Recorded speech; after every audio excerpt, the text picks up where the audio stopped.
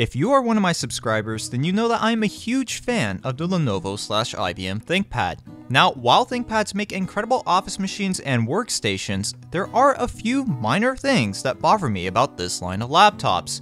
One of these things is that the BIOS, especially on some of the older T-series systems, really plays it safe as far as the fan speeds are concerned. So thermals tend to be pretty good on these systems, but this is at the cost of fan noise and potentially your sanity. On Linux, you could create a fan control script to set custom fan speeds. On Windows, things were not as straightforward. That is, until the introduction of TP fan control. With TP fan control, you can create what is essentially a custom fan curve for your ThinkPad, and even turn the fan completely off when you feel like it, though I wouldn't really recommend ever doing this. TP fan control works with Windows XP up to Windows 10, and there have even been a few attempts at making a Linux port. If you Google TP fan control for Linux, you'll be able to find a few of these.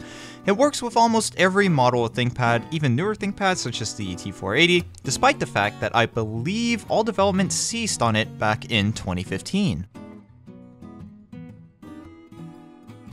To get your hands on TP Fan Control, you can either go to SourceForge or the TP Fan Control site at tpfancontrol.com. Both links will be in the description.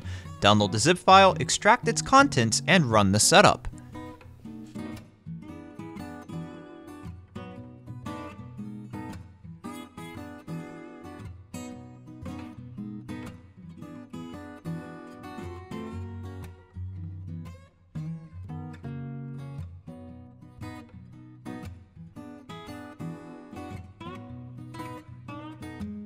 When installing TP Fan Control, be sure to check the box labeled Create an Icon in the Common Startup folder. This will allow the application to start up when Windows starts up.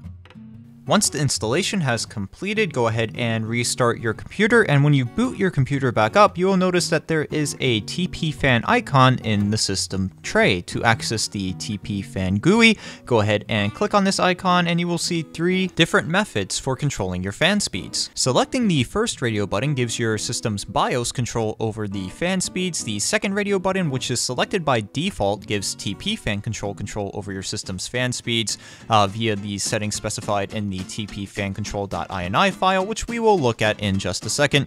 And the third option allows you to manually control the fan speeds in real time by hand uh, within a range of 0 to 7, 0 being the fans completely off, and 7 being nearly your system fan's max speed. And I say nearly because you can actually set this to 64, which will 100% max out your fan speed, and I'll demonstrate all of those right now.